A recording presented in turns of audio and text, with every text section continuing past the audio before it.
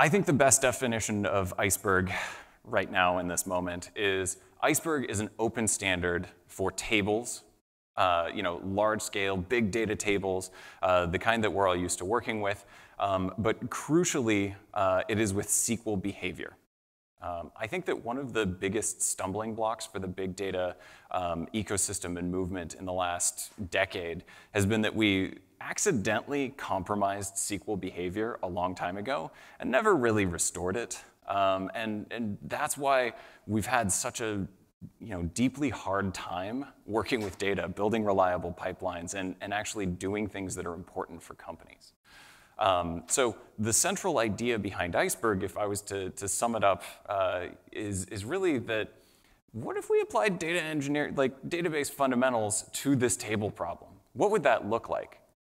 Um, it looks remarkably like uh, what we had in 1992.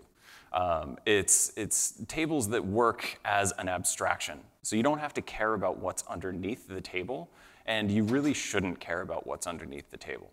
Um, so what we're, we're really saying is that to most users, to consumers, Iceberg should be um, almost completely invisible.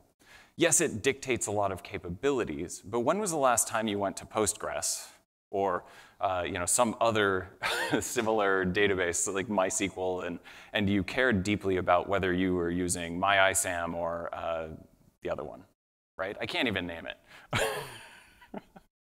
Um, so you, you really care about the capabilities as a whole, but you don't want to care about the minute details. Um, if you do, then you're a DBA, and we don't want everyone to be DBAs anymore.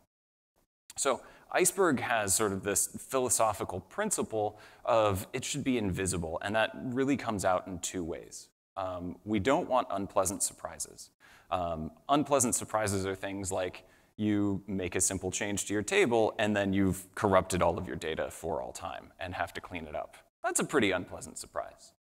Um, the second one is a little more subtle. Um, it's not correct, you know, we shouldn't have correctness bugs, but it is, uh, we don't want to steal people's attention. And I think this is really the fundamental place where um, we've failed in the last 10 years, uh, making it so that you had to care very deeply about things like you know, file layouts and uh, the, the capabilities, how large this table is going to be in three years when you create the table and you're just trying to get everything up and running.